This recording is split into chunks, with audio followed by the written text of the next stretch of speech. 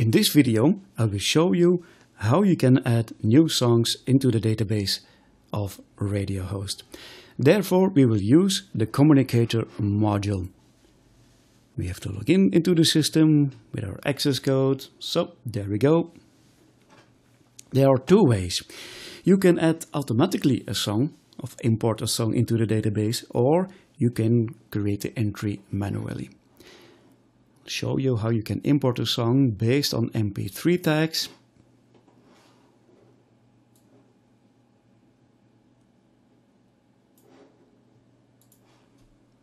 So the song is imported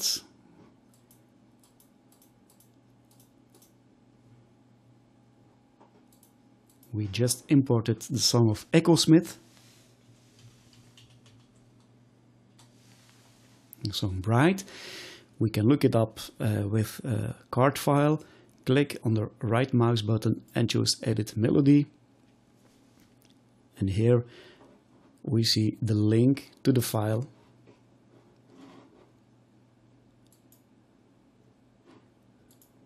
We see some options here.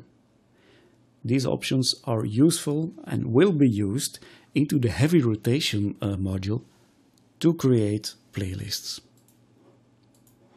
Speed, medium, descriptions, this uh, genre is coming with the mp3 tag.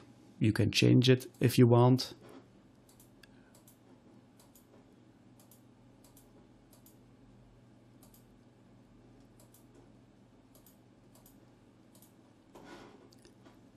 In the restrictions tab, you can uh, set a day part that a song is not or just played into that uh, part of the day.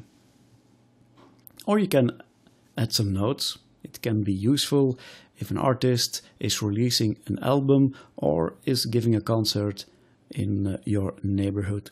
The DJ can read the info you put in the notes uh, in broadcast when he is presenting his program. Just click the OK button and we're done here. If you want to uh, create a database entry manually, just go to databases and click on the new album button. The melody we will use is Shine of the band Years and Years. Melody title is Shine, artist is years and years. Add, save, and we're done. Not, not fully done. The entry is created, but we don't have a link to the file yet.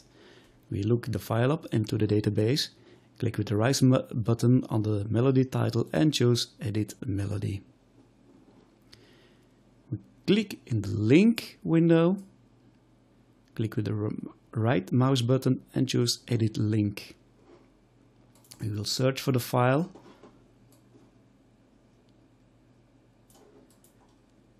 Let's see, it's uh,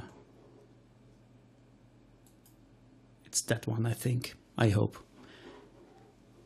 And in this case also you can set speed and all other options.